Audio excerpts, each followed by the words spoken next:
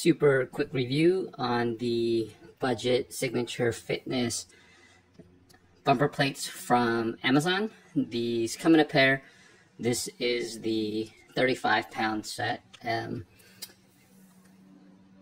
two inch um, two inch openings, so uh, fits Olympic barbells without any issues, standard size.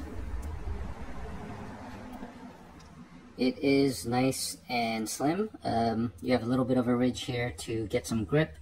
Um, prefer a bumper plate sometimes that has a little bit more uh, grip on the side with the ridges, but this works fine for a budget version of it, especially if you're going for um, a slim model. So again, pretty slim.